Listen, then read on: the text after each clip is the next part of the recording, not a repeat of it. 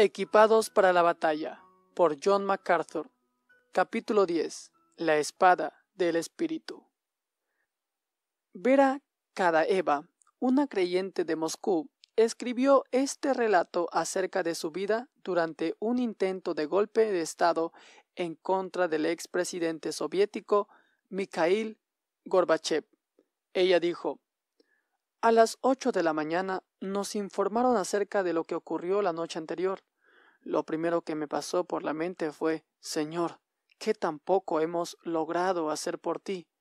Surgió el deseo de hablarle a la gente acerca de Cristo. Una oración resonó en mi corazón. Señor, enséñame a hacer tu voluntad. Durante el día vi tanques y carros blindados por las calles de Moscú. La ciudad estaba muy agitada. Multitudes de personas caminaban hacia el edificio del Parlamento ruso.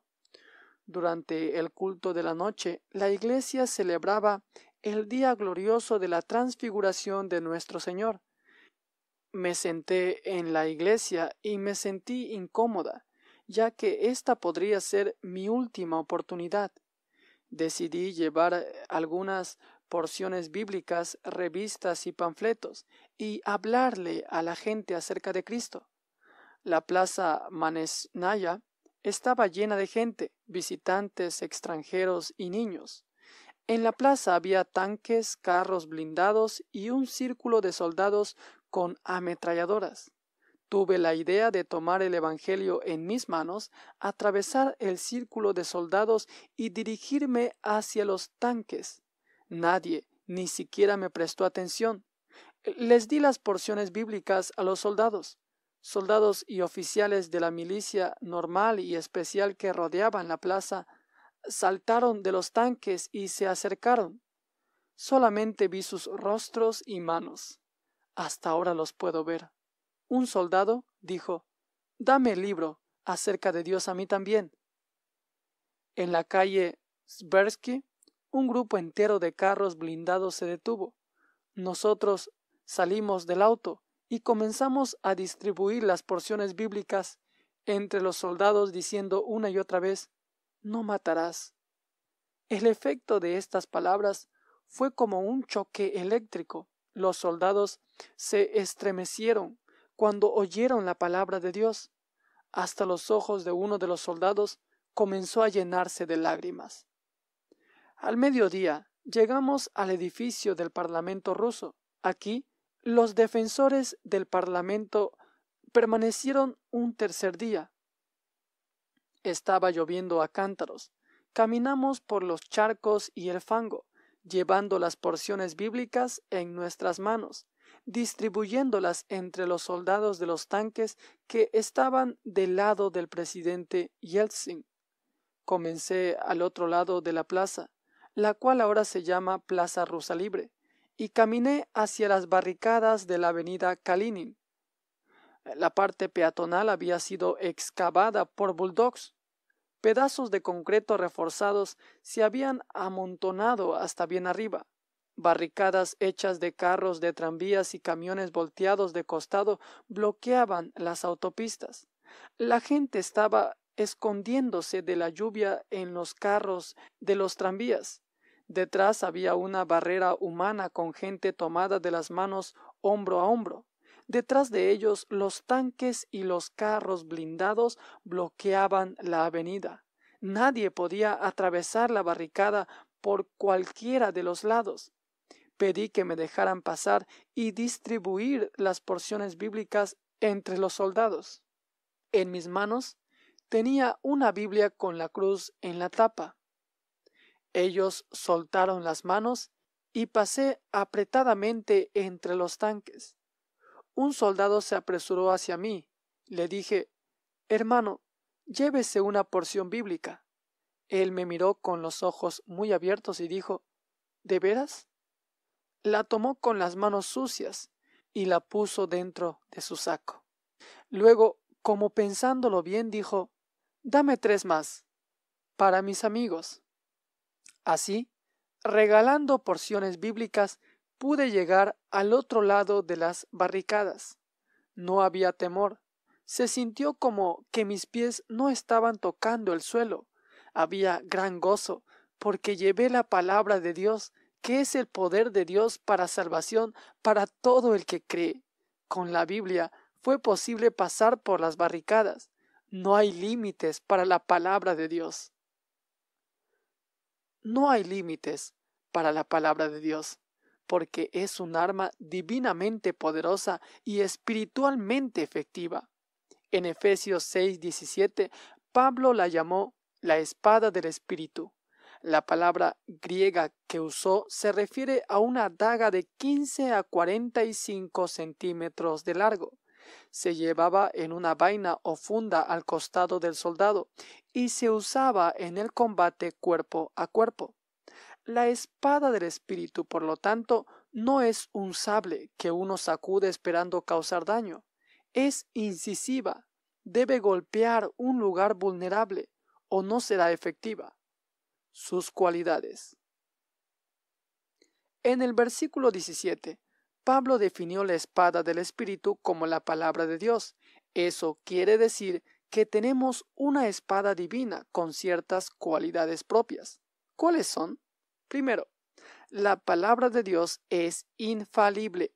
La Biblia en su totalidad no tiene errores, no tiene faltas o manchas, porque fue escrita por Dios, cuyo carácter es impecable. Según el Salmo 19.7, la ley del Señor es perfecta. La Biblia también carece de errores, no tiene errores de hechos, falacias históricas, equivocaciones científicas o engaños espirituales. Es perfecta en toda la extensión de la palabra según Proverbios 35, que dice, probada es toda palabra de Dios. Eso quiere decir que cada palabra es pura y cierta. La Biblia es el único libro que nunca comete un error. Todo lo que dice es la verdad. La Biblia nos dice la verdad absoluta acerca de la vida y la muerte, el tiempo y la eternidad, el cielo y el infierno, lo bueno y lo malo, hombres y mujeres, jóvenes y ancianos. Nos dice la verdad acerca de los niños, la sociedad y la relación entre Dios y el hombre, el hombre y el hombre y el hombre y la naturaleza. Es la verdad de todo lo que es indispensable. Otra cualidad de la Biblia es que es completa. No se le puede añadir ni quitar nada. En la actualidad hay gente que dice recibir más revelación pero al añadir a la palabra de Dios están implicando, ya sea directa o indirectamente, que ésta no está completa. Proverbios 36 les dice esto, no añadas a sus palabras, no sea que te reprenda y seas hallado mentiroso. La palabra de Dios también es autoritaria.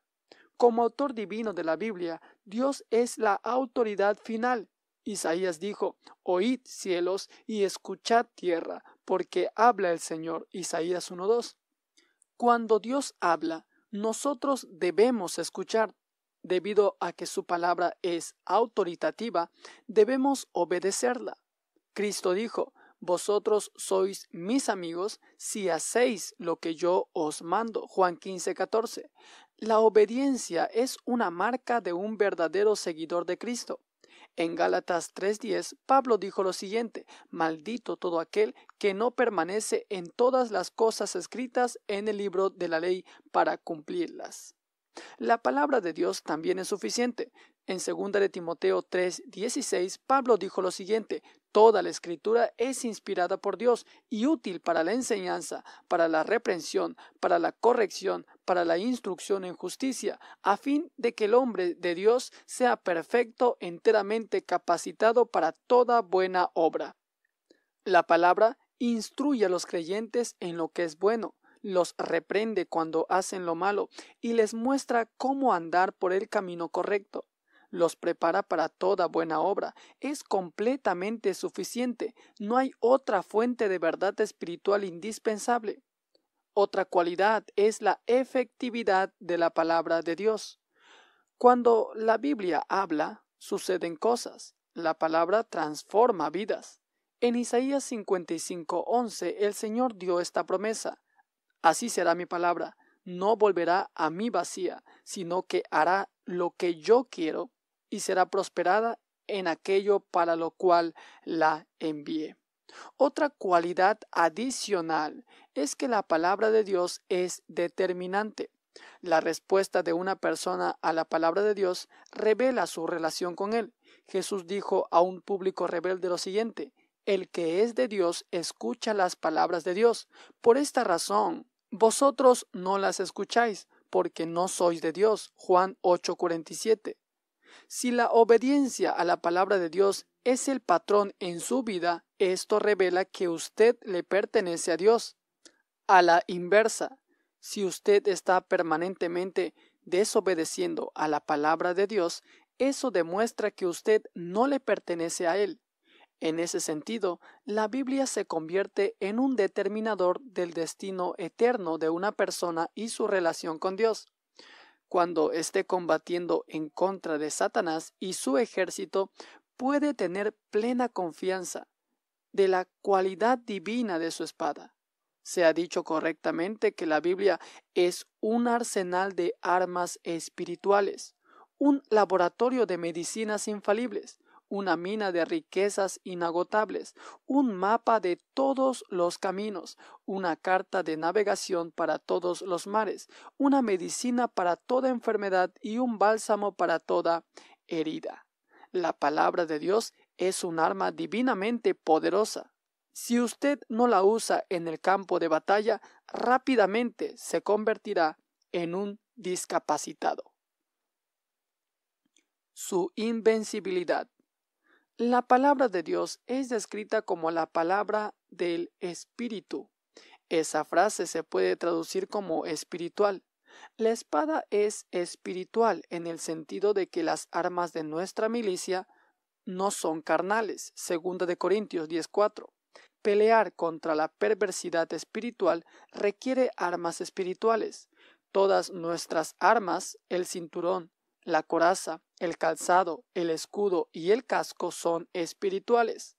La frase también se puede referir a una espada otorgada por el Espíritu. Esto se refiere al lugar de donde viene la espada. Al juntar las dos ideas, se transmite la idea de que nuestra espada es espiritual porque nos la dio el Espíritu Santo.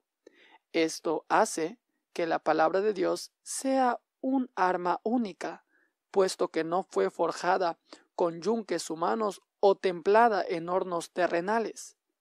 En cambio, tiene un origen divino, de manera que no hay nada que pueda vencerla. Cualquier espada terrenal palidece cuando se le compara con la invencibilidad de la palabra de Dios en las manos de un santo entendido y justo. Cuando usted se convierte en cristiano, recibe la espada en forma de Biblia. Un incrédulo podría tener la Biblia, pero esa persona no tiene por dentro al Maestro de la verdad, el Espíritu Santo, quien hace que la Biblia tenga sentido. Por eso no entiende las cosas de Dios. Primera de Corintios 2.14. Cristo dijo, pero el Consolador, el Espíritu Santo que el Padre enviará en mi nombre, Él os enseñará a los creyentes todas las cosas. Juan 14, 26. El Espíritu de Dios que mora en el creyente ilumina su entendimiento y le enseña lo que la palabra de Dios dice. Cuando usted usa la espada con entendimiento, la gente será salva, porque es poder de Dios para salvación. Romanos 1.16. Dios usa su palabra para abrirse camino en el territorio de Satanás y librar al perdido del reino de las tinieblas. Según Hebreos 4:12, la palabra discierne los pensamientos y las intenciones del corazón. Cuando usted presenta la palabra a otros, el juicio de Dios se ejecuta en sus vidas. La palabra abre los corazones de los hombres cierne la evidencia y les muestra su pecado y culpa ante Dios. La palabra de Dios trae verdad al error, felicidad a la tristeza, luz a la oscuridad y crecimiento al estancamiento. No es de sorprenderse el que David haya escrito lo siguiente. La ley del Señor es perfecta, restaura el alma. El testimonio del Señor es fiel, hace sabio al ingenuo. Los preceptos del Señor son rectos, alegran el corazón. El mandamiento del Señor es puro, alumbra los ojos. El temor del Señor es limpio, permanece para siempre. Los juicios del Señor son verdad, son todos justos, son más deseables que el oro, más que mucho oro fino, son más dulces que la miel que destila del panal. Además, con ellos es amonestado tu siervo. En guardarlos hay grande galardón. Salmo 19 del 7 al 11. Esta arma singular, la espada del Espíritu, puede usarse en el campo de batalla tanto de manera defensiva como ofensiva. Su uso defensivo. Al usar apropiadamente la palabra de Dios, usted puede esquivar los golpes de Satanás y defenderse cualquiera sea el lado por el cual es atacado. Un ejemplo equivocado. Por lo visto, los campeones del movimiento de guerra espiritual de hoy en día no creen que la palabra de Dios es suficiente para esquivar los golpes de Satanás. En su esfuerzo por ayudar a los que se hacen llamar creyentes, estos individuos supuestamente exorcizan demonios entrando en largas y extrañas conversaciones con ellos. Las sesiones de liberación pueden durar de varios minutos a semanas y a veces solo consiguen que los demonios regresen. A menudo, el liberador necesita repetir sus preguntas o mandatos porque los demonios no cooperan u obedecen. El siguiente pasaje es tomado de una de varias sesiones que un profesor tuvo con Dorotea, una persona que se hace llamar creyente. El artículo dice lo siguiente. De pronto, en medio de la sesión, mientras acabábamos de exponer a los demonios, ellos interrumpieron. No les gustas porque dices demasiado y hablas demasiado y demasiada gente se está convenciendo. Demasiados se están convenciendo de qué? respondí. Hemos estado en guerra contigo demasiado tiempo y estamos hartos. ¿Quiénes nosotros? demandé. ¿Qué quieres decir con nosotros? Tú sabes bien quién soy yo. explotó en cólera. ¿Cómo te llamas? Oh, vamos. La voz del demonio se llenó de repugnancia. ¿Cómo te llamas? insistí.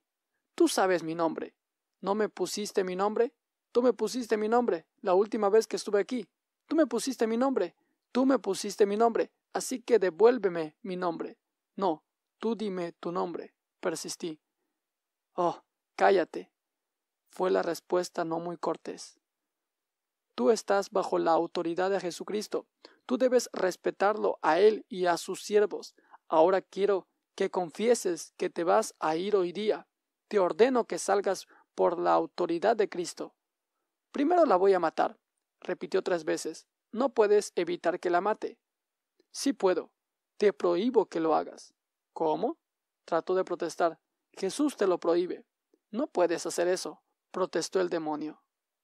¿Se puede imaginar leyendo un relato extraño como ese en los Evangelios? La verdadera necesidad de Dorotea no era la técnica de liberación correcta, sino que los demonios que moraban en ella era evidencia de su necesidad de arrepentimiento y salvación.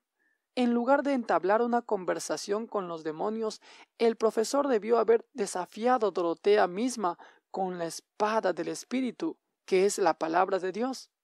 Los que están en el movimiento de guerra espiritual señalan a Mateo 12:29 en un intento de apoyar lo que hacen.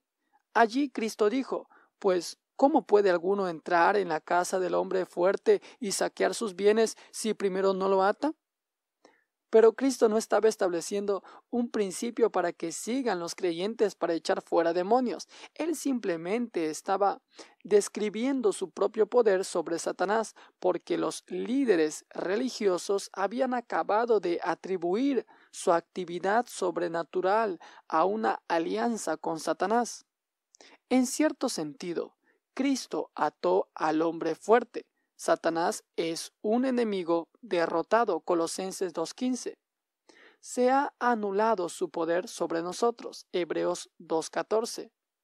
Aún así, la derrota final de Satanás será en el futuro. Apocalipsis 20 del 1 al 3, por ejemplo, dice claramente que Satanás será atado durante el reinado terrenal de Cristo. Cuando sea la hora de ser atado, lo hará un solo ángel, no los creyentes. Después Satanás será echado al lago de fuego para siempre.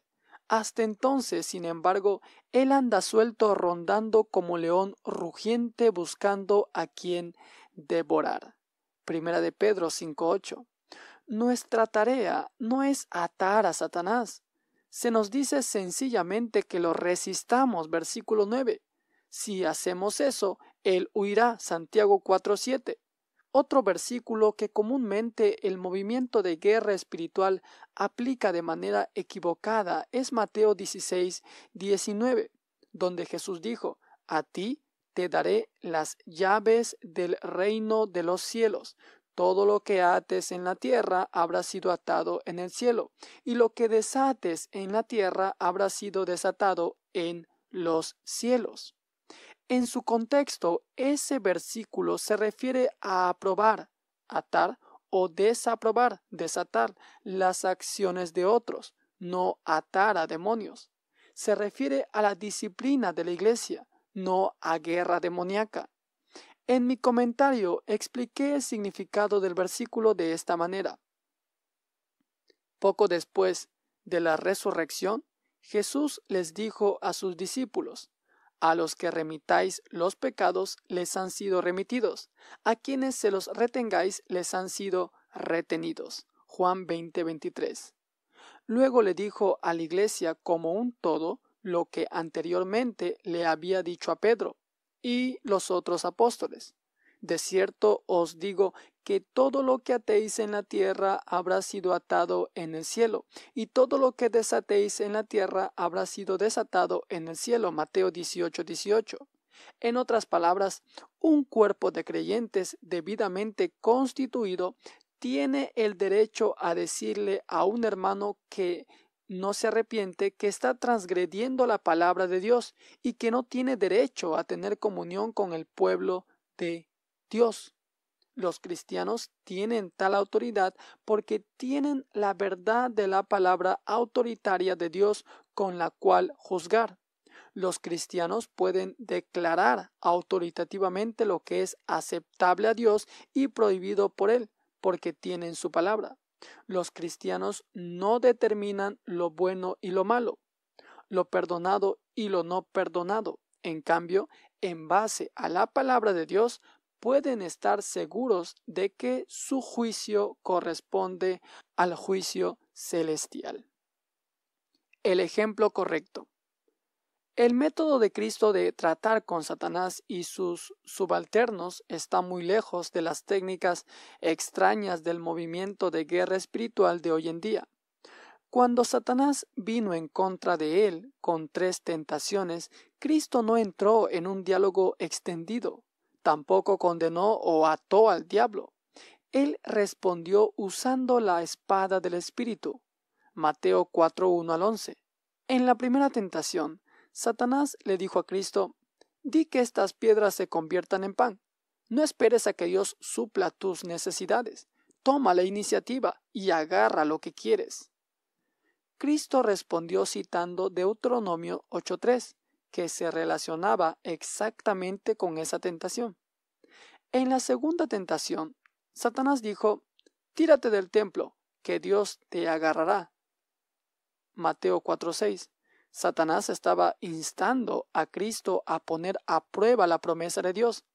Cristo esquivó ese golpe con una precisión aguda citando Deuteronomio 6:16. Satanás tentó a Cristo por tercera vez, ofreciéndole en ese instante lo que iba a ganar después de haber sufrido en la cruz. Mateo 4:9. Nuevamente, Cristo respondió con el uso preciso de la escritura. Deuteronomio 6:13. Cuando Cristo resistió a Satanás usando la palabra de Dios, ¿qué sucedió?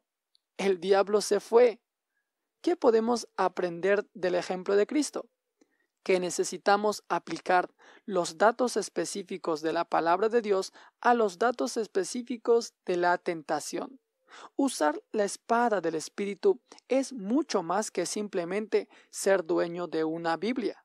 Es saber el principio bíblico específico que se aplica a la tentación específica.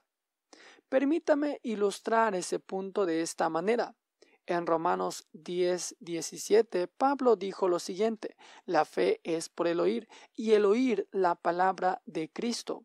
El término que aquí se traduce palabra es el mismo que se usó en Efesios 6, 17.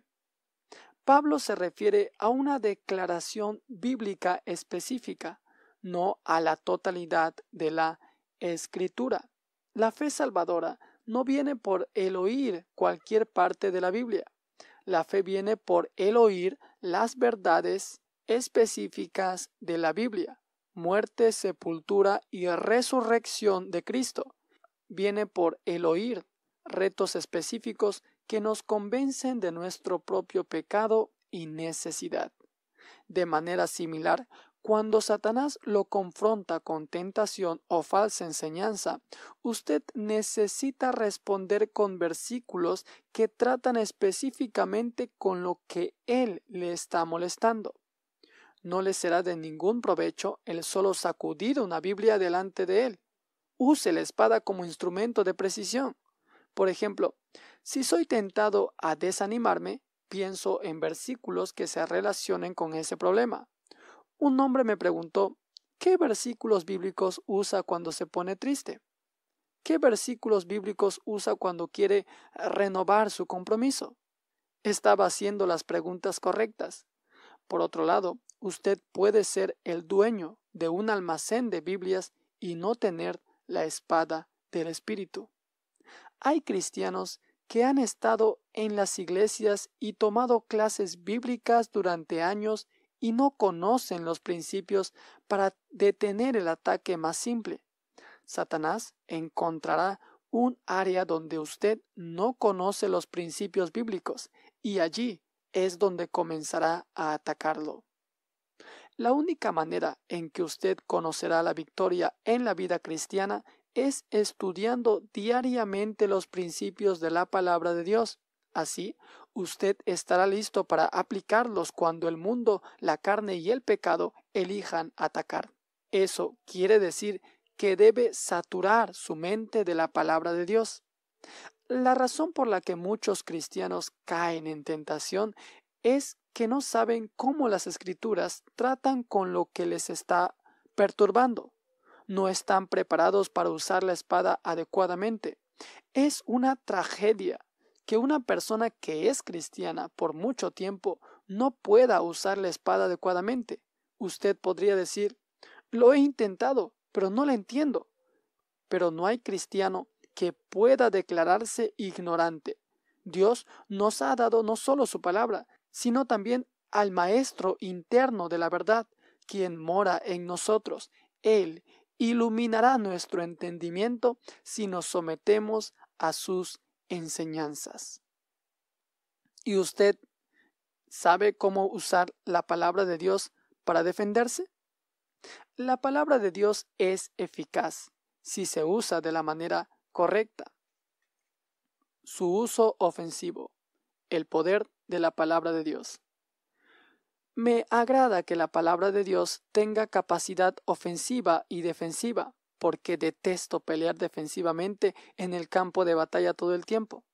Me encanta tratar de machetear a la jungla del reino de Satanás con mi espada. Cada vez que llevo el Evangelio a un no creyente, me veo arrasando con el reino de Satanás. Cada vez que alguien es redimido, me veo abriendo paso en medio del reino de las tinieblas. Me encanta tener oportunidades para presentar la palabra de Dios porque ésta ataca al sistema de Satanás. se dan cuenta de que cuando usted presenta la palabra de Dios al enseñarla a sus hijos, hablar de ellas con sus amigos o compartirla a otros estudiantes, usted está penetrando el reino de Satanás? Eso es porque la palabra de Dios es poder de Dios para salvación. Romanos 1.16. De manera trágica, muchos defensores del movimiento de guerra espiritual de hoy en día quitan su mirada de la palabra de Dios y la ponen en señales milagrosas y maravillas. Terminan denigrando el poder de las escrituras.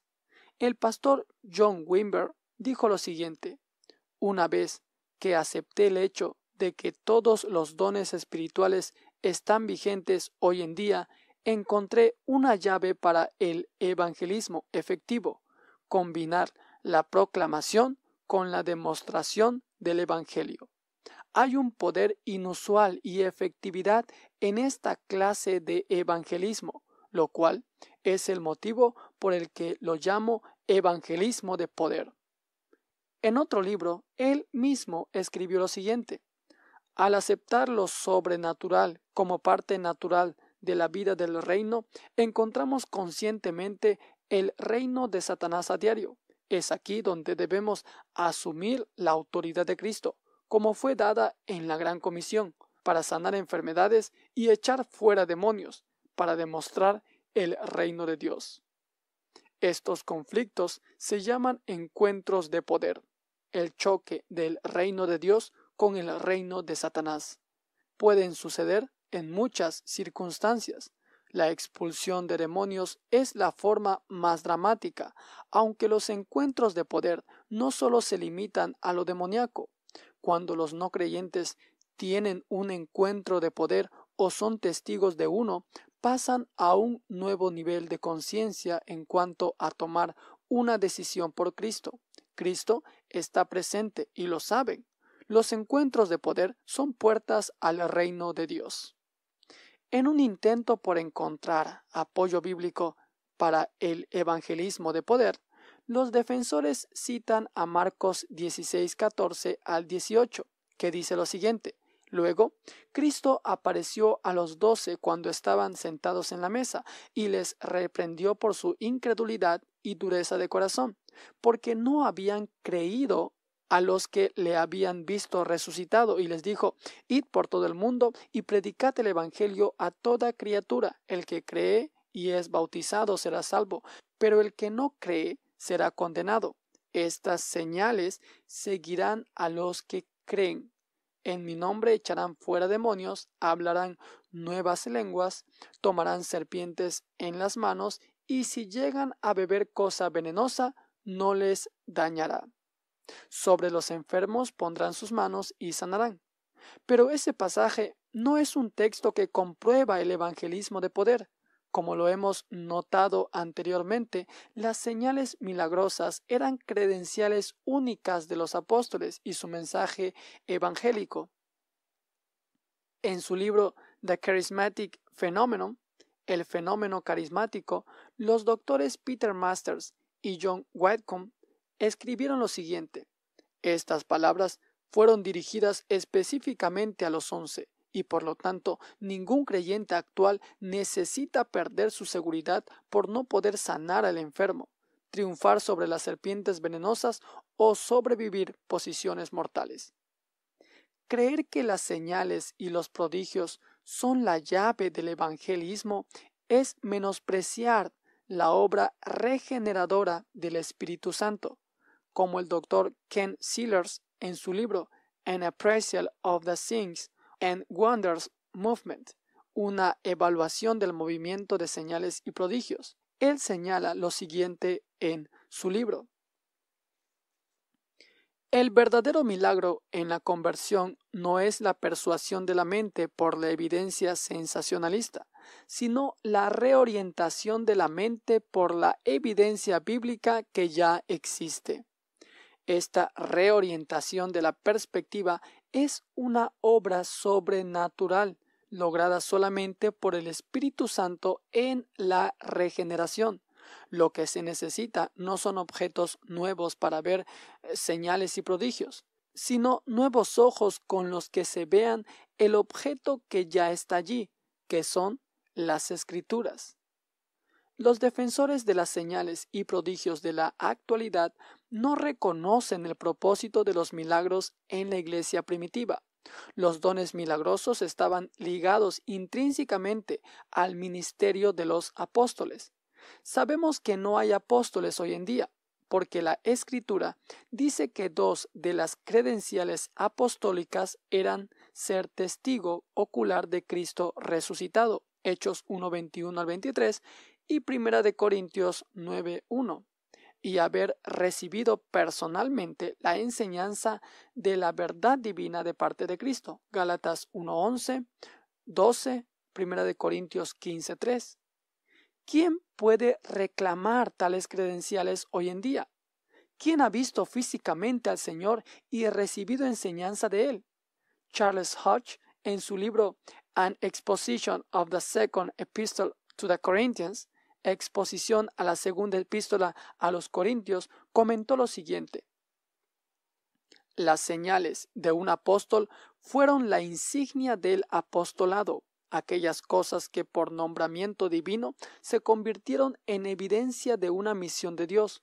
Cuando estas señales estaban presentes, todos los que eran testigos de ellas tenían la responsabilidad de reconocer la autoridad de los que llevaban esta insignia. Cuando estaban ausentes estas señales, era, por un lado, un acto de sacrilegio clamar el apostolado, y por el otro, un acto de apostasía hacia Dios admitir su posesión.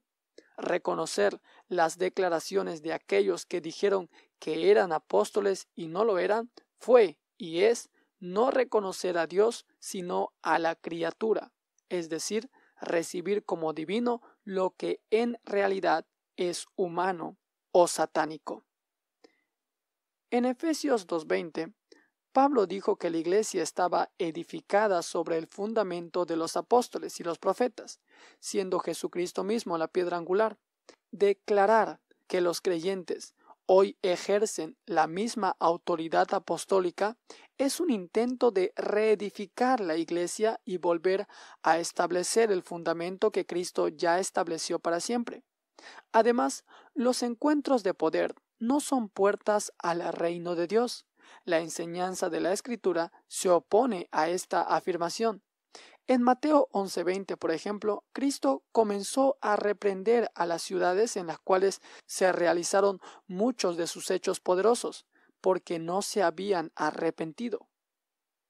Después, los líderes religiosos no creyentes demandaron que Cristo les diera una señal, pero él replicó, una generación malvada y adúltera demanda señal, pero no les será dada ninguna señal, sino la señal del profeta Jonás. Mateo 12:39. Cuando Cristo estaba colgado en la cruz, los líderes nuevamente buscaron una señal diciendo de manera burlona que descienda ahora de la cruz y creeremos en él. Mateo 27:42. Ni en broma. Si una persona rechaza la palabra de Dios, ningún milagro la moverá a confiar en Dios. Es el mensaje, lo que Dios usa en la conversión, no el milagro. ¿Cuál es el plan de Dios para la batalla ofensiva? No es el evangelismo de poder, sino la poderosa palabra de Dios usada con gran precisión. La eficacia de la palabra de Dios. Satanás está mucho más alerta de la eficacia de la palabra de Dios que muchos de los campeones del movimiento de guerra espiritual de hoy en día. El diablo hará cualquier cosa que pueda para anular los esfuerzos de aquellos que presentan el Evangelio al perdido. Eso fue lo que Cristo quería decir en la parábola del sembrador. Escuchemos la parábola del sembrador. He aquí, un sembrador salió a sembrar. Mientras él sembraba, parte de la semilla cayó junto al camino, y vinieron las aves y la devoraron. Y otra parte cayó en pedregales, donde no había mucha tierra, y brotó rápidamente, porque la tierra no era profunda. Pero cuando salió el sol, se quemó, porque no tenía raíz, y se secó. Y otra parte cayó entre los espinos. Los espinos crecieron y la ahogaron, y otra parte cayó en buena tierra y dio fruto, uno a ciento, otro a setenta y otro a treinta por uno. Mateo 13 del 3 al 8. En los versículos 18 y 23, Jesús explicó el significado de esta parábola. El sembrador es cualquiera que proclama la palabra de Dios. La semilla es la palabra de Dios. Cuando usted siembra, está usando su espada. En el versículo 8 dijo que cuando la semilla encuentra buena tierra, es decir, cuando la semilla encuentra un corazón receptivo, llevará fruto. Satanás sabe que la palabra de Dios es capaz de llevar fruto, de manera que está ocupado tratando de asegurarse de que esto no suceda. ¿Cómo? Una forma es atacando por medio de demonios. En el versículo 4 Jesús dijo que las aves se devoraron la semilla que cayó al lado del camino. Esto se refiere a las huestes demoníacas de Satanás. De alguna forma son capaces de arrebatar la palabra para que la persona olvide lo que ha escuchado. Quizás usted se acuerde de haberle hablado a alguien de la palabra, pero después, cuando lo ve otra vez, es como si nunca le hubiera dicho nada acerca de ello. Satanás la arrebata de la mente. Satanás también ataca por medio de la tribulación. En el versículo 5, Jesús dijo que parte de la semilla cayó en pedregales. Brotó pronto, pero no tenía profundidad de tierra. Apenas salió el sol, la planta se quemó porque no tenía raíz y se secó. No soportó el calor. Usted quizás tuvo a alguien que respondió positivamente a su presentación del Evangelio, pero cuando vienen las pruebas, la persona dice, Dios, no eres tan bueno después de todo, y usted lo ve apartarse de la verdad bajo la presión de la persecución o la tribulación. ¿De qué otra manera ataca Satanás? por medio de la mundanalidad. En el versículo 7, Jesús dijo que parte de la semilla cayó entre espinos, y los espinos crecieron y la ahogaron.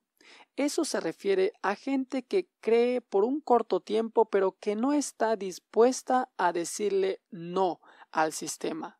Debido a que quieren al mundo, se apartan de la palabra.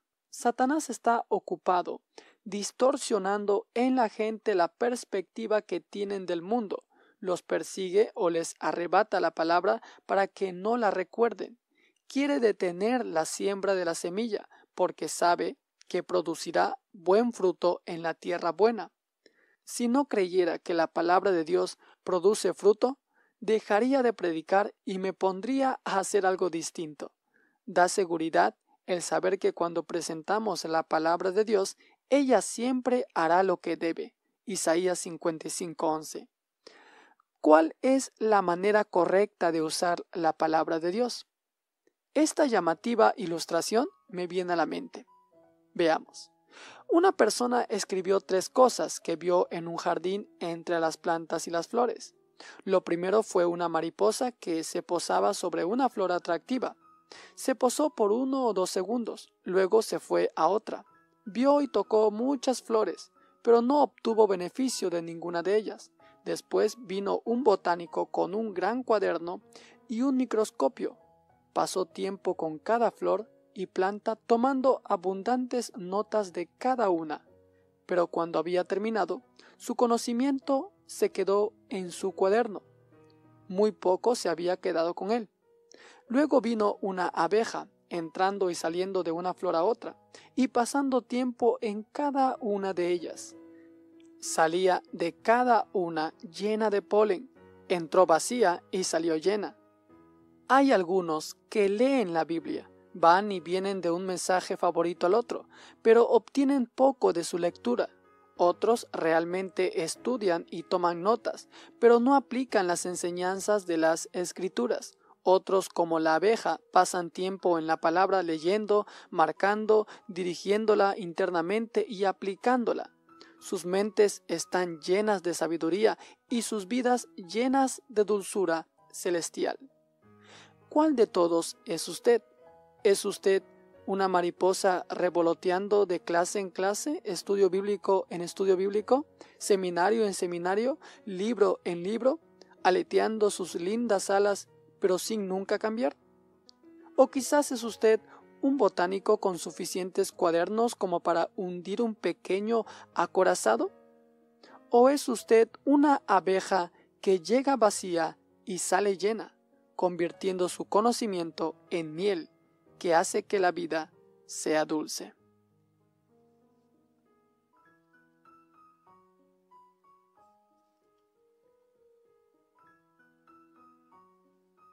Hemos escuchado el capítulo 10 del libro Equipados para la batalla por John MacArthur, titulado La espada del Espíritu. En la próxima transmisión estaremos viendo el capítulo 11 y veremos oraciones en el campo de batalla. Esperamos que nos acompañe en una nueva transmisión de Gracia.